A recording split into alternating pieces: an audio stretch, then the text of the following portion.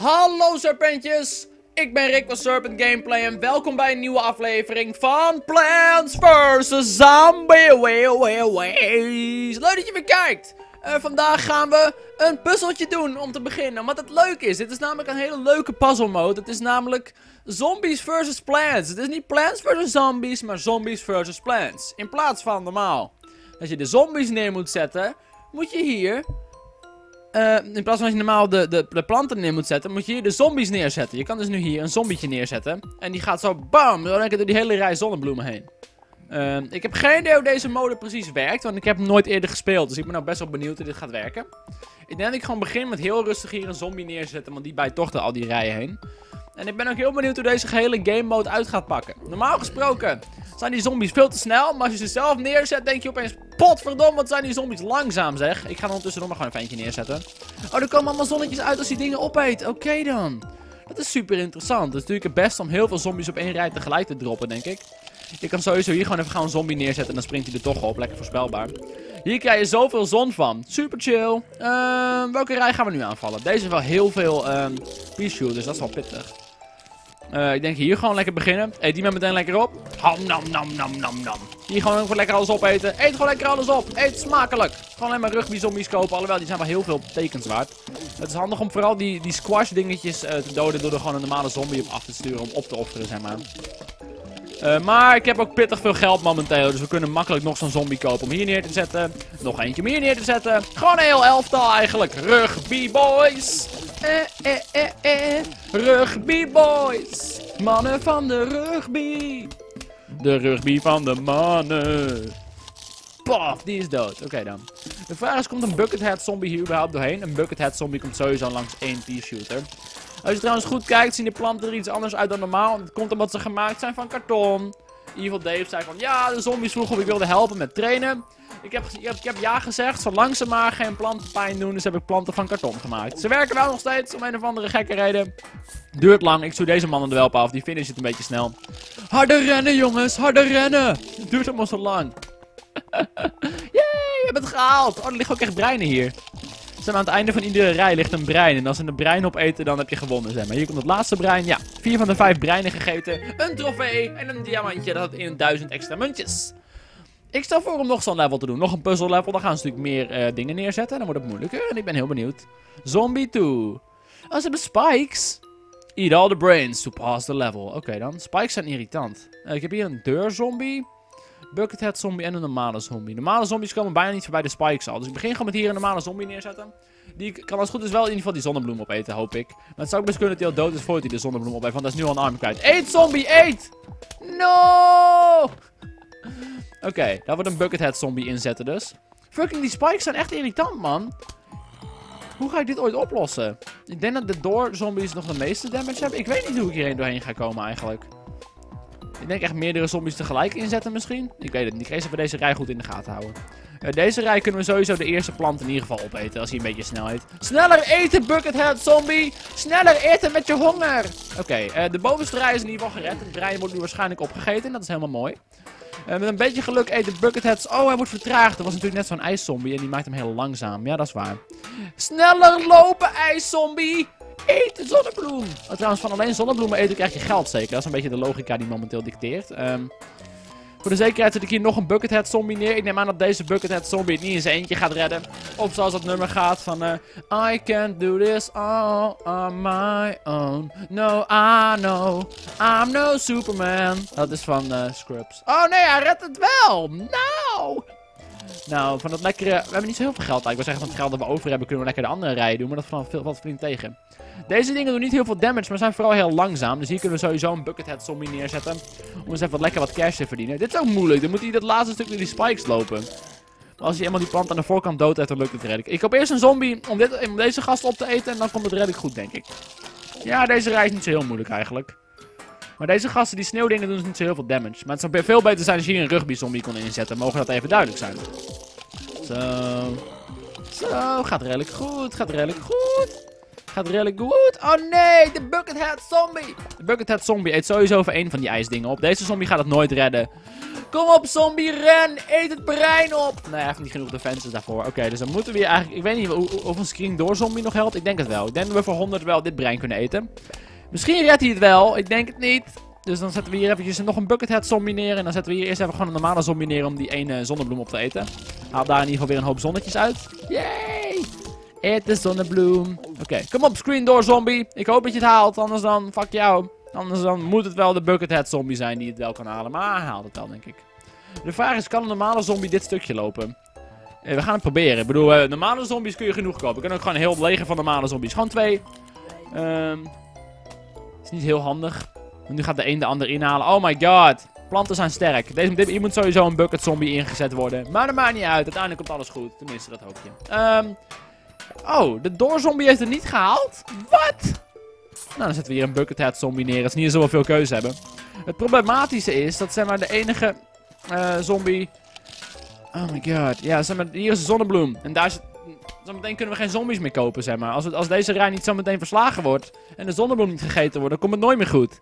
Dit is nog best moeilijk, jongens en meisjes. Maar ik denk dat we het net aan gehaald hebben. Het scheelt niet veel in ieder geval. De Buckethead zombie heeft nog steeds de bucket op zijn head, dus dat gaat wel helemaal goed.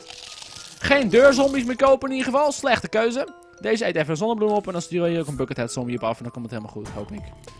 We kunnen zelfs voor de zekerheid nog eentje sturen. Nou, dan sturen we er lekker twee. Patrouille! Het is de Burgerhead Zombie Guys. Het zijn de Burgerhead Zombies boefjes. Eet die breintjes maar op. Het zijn net snoepjes. Stop ze maar in je bek. Je vrienden vinden het te gek. Zombiebrein snoepjes eten. Het is om te vergeten. Ik wil niet gaan stoken. Maar als je heel erg van je longen houdt, moet je niet gaan roken. Dat is het enige waar ik ons verzingen, voor, verzingen, verzingen voor vandaag. Verzinnen en zingen. Verzingen. Ik zet mijn bril op. Wow, Rick, wat ziet er lelijk uit nu. Dankjewel. Doei, bril. Fuck jou. Oké dan. Laten we voor de grap hier een deurzombie neerzetten. En hier nog een normale zombie. En hier nog wat. En een prijs! What? Ik ben een held. Ik ben een held. In principe kunnen we dus ook proberen nog voor deze serie alle puzzle levels te halen. Ik vind het ook wel een goed idee. Er zijn 20 puzzels in totaal. En ja, ik heb precies van, als we toch klaar zijn met de story mode en mensen willen meer Plants vs. Zombies, wie ben ik dan om alle puzzels te doen? Dan heb je ook nog eens uh, minigames. Die zijn ook leuk. Die moet je ook allemaal vrij spelen door Adventure Mode eerst uit te spelen. Maar dan gaan we gewoon de serie verder met minigames doen. Ja, waarom zou je stoppen als je de Adventure af hebt, weet je? Uh, dan heb je nog Survival. Dan moet je gewoon oneindig waves door. Dat is ook super leuk, denk ik. Dus gewoon een keer de laatste aflevering of zo. Dan gaan we Survival doen en kijken van hoe ver komen we nou echt. Sowieso, als we alle minigames hebben gedaan, hebben we vet veel geld. Um, ik stel voor om nu gewoon lekker Adventure te klikken en uh, even één leveltje te doen. De volgende aflevering doen we de laatste twee levels van de Adventure dan. Oké dan.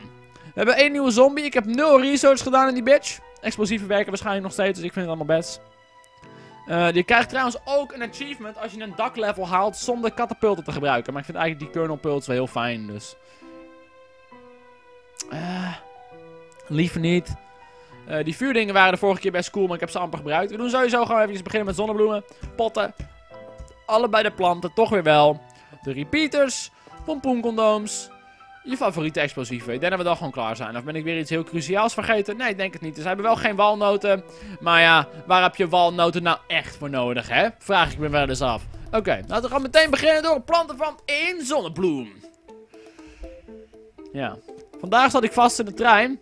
Uh, ik moest opeens weer denken aan de vorige aflevering. De vorige aflevering heb ik, heb, heb, ik jullie allemaal raadseltjes gegeven. Ik zat namelijk vandaag vast in de trein. Nou, niet vast, de trein bewoog. En meestal zit je altijd vast in een trein, want je kan niet uit de rijdende trein springen. Dus Nee, maar de trein moest heel erg om. Uh, we hebben echt een half uur omgereden, want er stond een trein ergens midden op het spoor stil. Was zo van, ja, uh, waar moet die trein heen? Weet ik veel, hij staat stil. Nou, dan laten we alle treinen gewoon heel erg omrijden. Dat was ongeveer de situatie.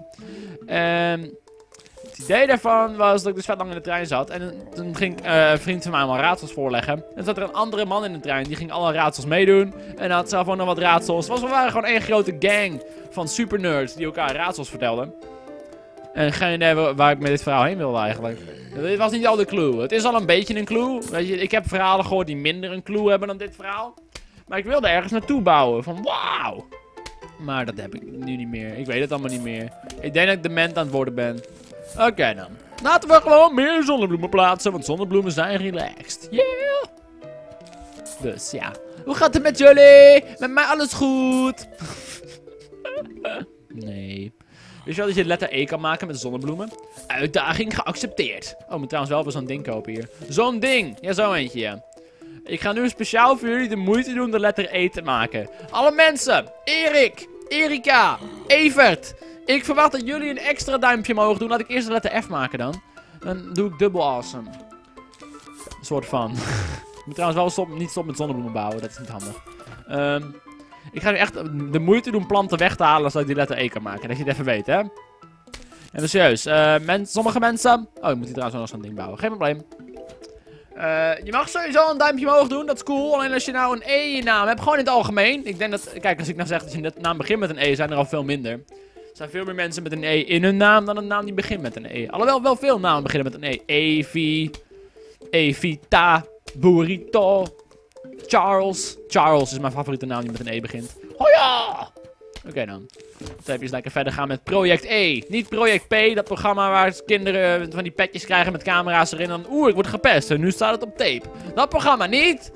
Uh, dit is Project E. Als in de letter E. Van Eduard. Een eland. Project Eland. is nieuw. E ja, je mag deze opeten. Hij moet toch al weg voor de letter E. Ik bedoel maar. Daar liggen mijn prioriteiten. Het succesvol maken van de letter E. Uh, probeer jij wat te bereiken in het leven momenteel? Nou, ik wil letter E maken in Plants for the Zombies. Nou, wat een zielig levensdoel heb jij. Dank je! Probeer nog deze bitch weg te halen. Oké. Klaar. Hou die duimpjes maar omhoog, mensen, met de ene naam. En dan moet je zo met je hand zo op die onderste twee planten houden. Heb ook nog eens de letter F gemaakt. Hoe tevreden zijn we nu met het leven? Niet tevreden? Oh, jammer nou. Zo, we gaan lekker verder. Lekker verder met dingen planten. Anders loopt het uit de handen. Shit, niet meer E weg eten. Maak er maar een F van. Weet je wat? Het maakt allemaal niet meer uit. Oh shit, ik heb de verkeerde plant geplant. De verkeerde plant geplant. Nee, ik vind, ik vind het belangrijk dat mijn planten wel goed geplant zijn. Stop met mijn zonnebloem eten! Goed zo. Oké, dan laten we nu even... Ondertussen heb ik vet veel geld trouwens. Uh, helemaal niet bezig met de planten van zonnebloemen. Terwijl ik vet veel geld heb. En ja, als je nog meer geld wil, moet je gewoon nog meer zonnebloemen planten.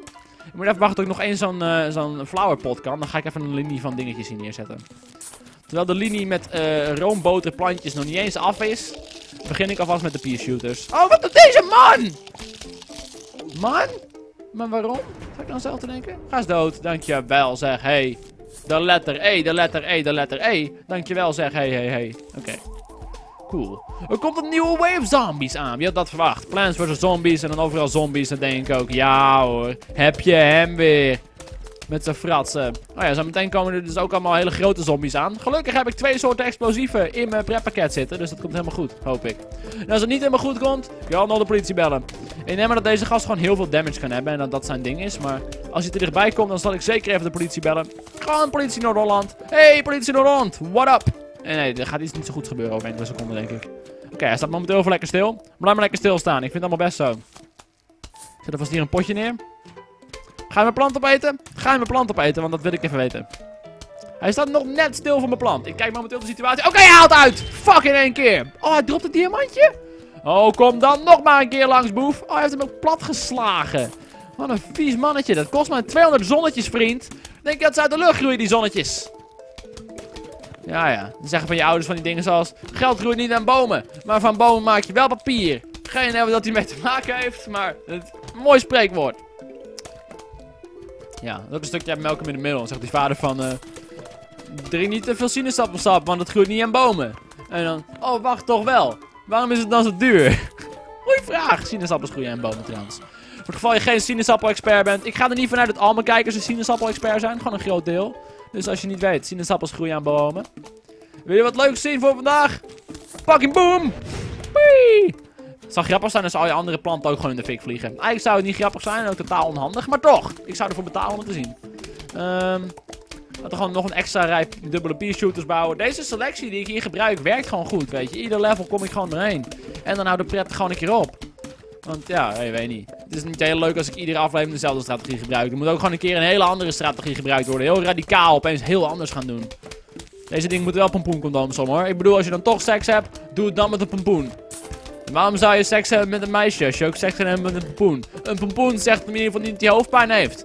Of, ah, oh, ik ben onzeker over mijn lichaam. Dat doen pompoenen niet aan. Een pompoen is een fucking baas. En ze kunnen niet praten. Dat helpt ook wel. Misschien hebben pompoenen wel geen zin in seks omdat ze hoofdpijn hebben. En verkrachten we ze gewoon. Want zo zijn wij dan ook alweer. Precies. Oké dan. Uh, repeatertje erop. Zo.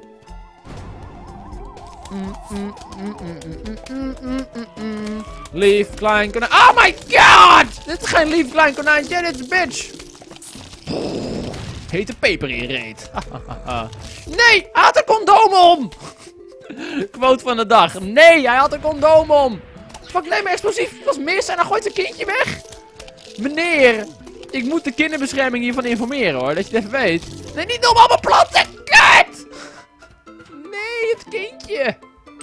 Ah, het kindje is onthoofd. Dan is het weer goed. Oh, dat is de finale wave al, joh. Oh, ja, cool. Wat is dit, een meloenschieter?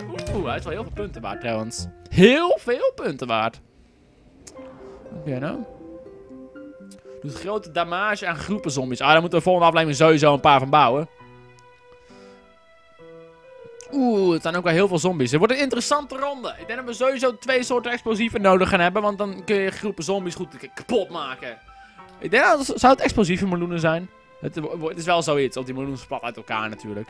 Ik ga jullie bedanken voor het kijken van deze aflevering.